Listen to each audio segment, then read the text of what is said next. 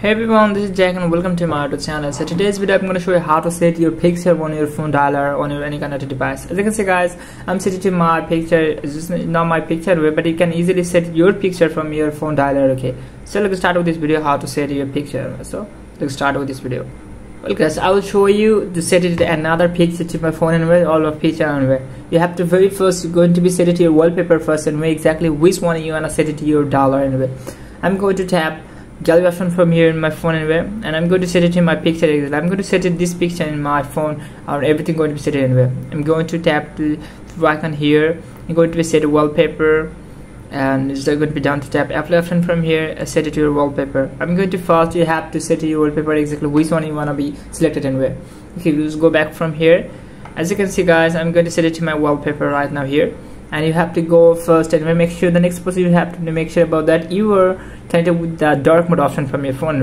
If you have your mode is going to be dark mode then you have to save your battery also and this feature will be work very perfectly anyway well. The next process you need to do is just go and open up your play store from your phone. As you can see guys here's my play store anyway you have to tap search box here. You have to go into be search like design tool option from here. So designer tools pro. You, you just simply search this one as well. Okay you have to open this one as well from here.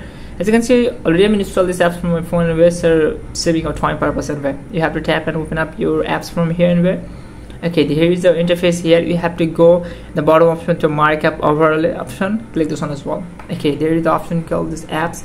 You have to go into be just select this picture from here okay i'm going to select this picture. And this is going to be directly switch your gallery from here. You can be choose this exactly which one you wanna. Already i'm select this one as well. I'm going to select this one. I want to set this as well as you can see. Here you have to tap setting option from here. And you have to make sure about that your opacity are going to be 100 percent anyway and if you're going to be set the 100% opacity that will be better for future and where you look like much more aggressive and here. Okay we have to go back from here. Now we have to go to turn off this option to toggle this one as well. So mockup overlay. It's going to be turn one. As you can see already it's going to be showing also. So guys it's going to be go back from here and it's going to be set it to interface from here anyway. You have to just go and open up your dialer from front.